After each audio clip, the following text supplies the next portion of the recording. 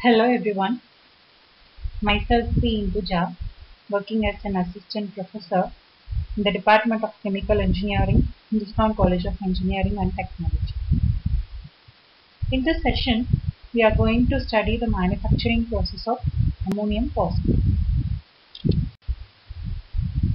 The course outcome for this topic is to select the raw material for phosphate-based fertilizer manufacturing, which means at the end of the session you will be able to describe raw materials, chemical reactions and process flow sheets involved in manufacturing of ammonium phosphate as well as properties and uses of ammonium phosphate also you will see in this chapter. The outcome or the learning outcome is to describe the conversion process for the given MAP and DAP. So MAP is nothing but monoammonium phosphate and DAP is nothing but diammonium phosphate.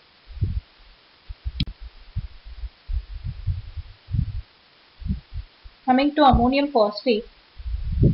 So here we will see about uh, what is ammonium phosphate formula and what it is consists of and what are the types of ammonium phosphate. So the ammonium phosphate formula is NH4 thrice PO4 also known as ammonium orthophosphate is the salt of ammonia and phosphoric acid. So it consists of anion and cation that is ammonium cations and phosphate anion. It is water soluble and aqueous solution on boiling when it loses ammonia. So there are two types of ammonium phosphate. One is monoammonium phosphate and the formula is NH4 H2PO4 and diammonium phosphate formula is NH4 twice HPO4. Okay.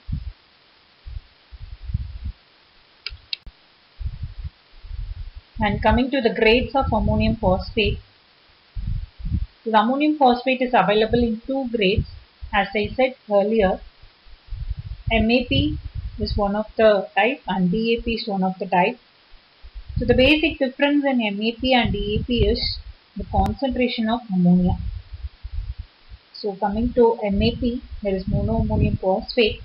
The nitrogen content consists in this uh, monoammonium phosphate is of about uh, 11 to 12 percentage and anhydrous ammonia added to liquid phosphoric acid gives the product as uh, monoammonium phosphate. So when ammonia plus phosphoric acid reacted means then we will get monoammonium phosphate. So in this fertilizer high content of P2O5 of about 55 percentage and uh, coming to diammonium phosphate so the nitrogen content in diammonium phosphate is of about 16 to 18 percentage and uh, 20 to 21 percentage of phosphorus so that is 46 percentage P2O5 is formed in diammonium phosphate. So the basic raw materials in manufacturing process of ammonium phosphates are so one is uh, ammonia and another one is phosphoric acid. So these two are the basic raw materials used in this ammonium phosphate manufacturing. So the basic is diammonium phosphate or monoammonium phosphate. So the reactions, the chemical reactions involved are simply uh, the neutralization reaction.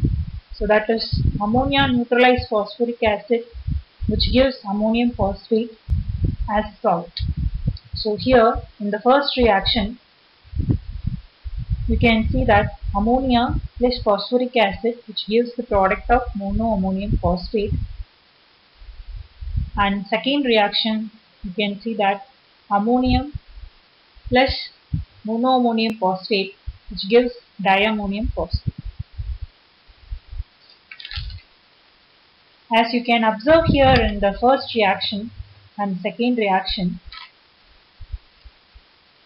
in first reaction MAP contains only one molecules of ammonia while in second reaction DAP contains, I mean uh, diammonium phosphate contains 2 moles of ammonium.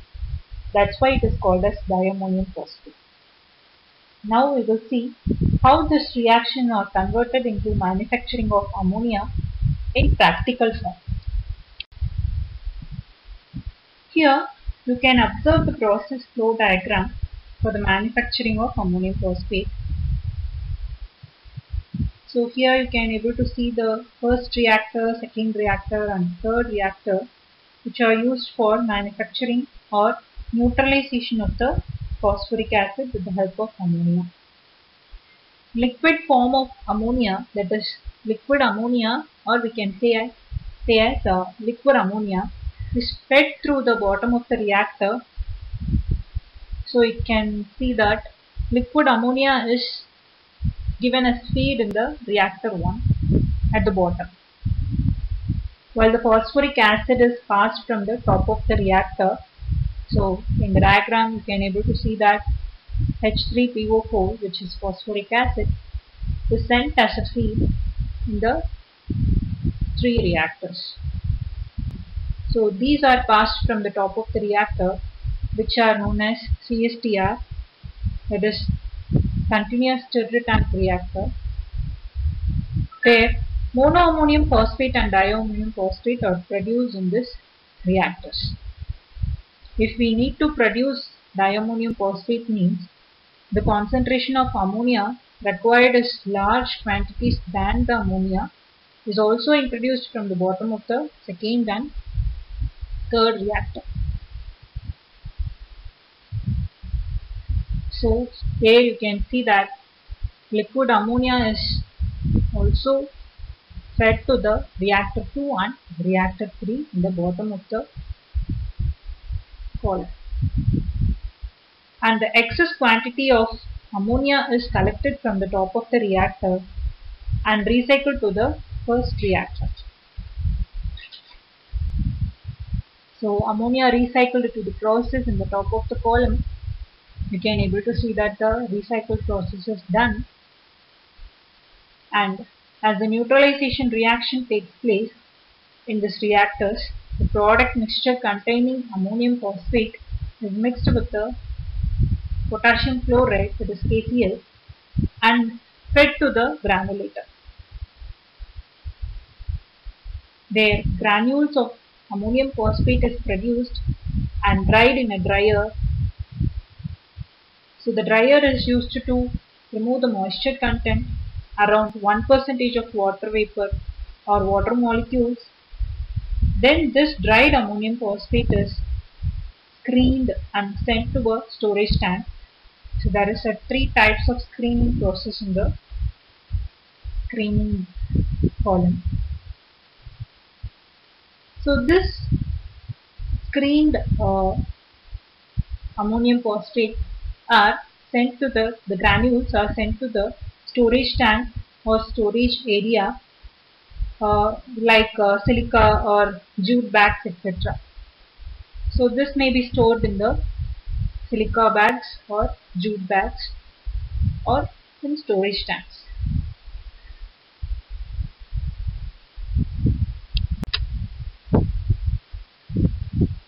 Then we will study the properties of ammonium phosphate so the properties are the molecular formula for uh, ammonium phosphate is NH4H2PO4 and finally the appearance of the ammonium phosphate is a white crystal. And uh, the odor is colorless. And the melting point of uh, ammonium phosphate is 190 degrees Celsius. And the density is 1.803 gram per mole and solubility is moderately soluble in water. And finally the pH is of about 4 to 4.5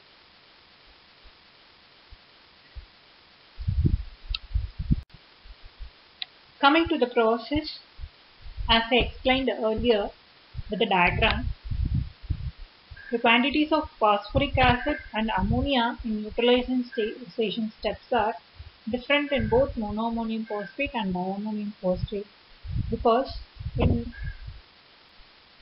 monoammonium phosphate uh, ammonia to phosphoric acid ratios of about 0.6 in neutralizer and 1 in a granulator while for diammonium phosphate 1.4 in neutralizer and 1.0 in granulator. So that's why it is different.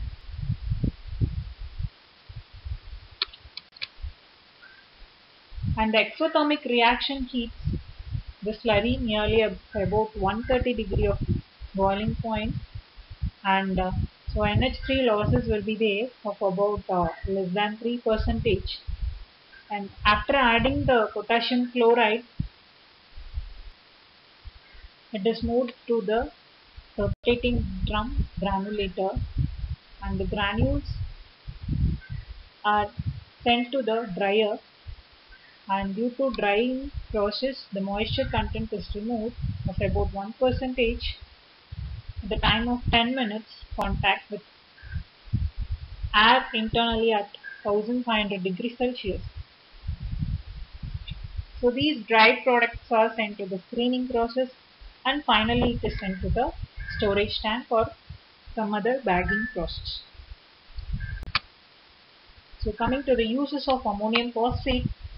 The ammonium phosphates are used in a different uh. So that are high effective non-chloride nitrogen and phosphate compound fertilizer in agriculture.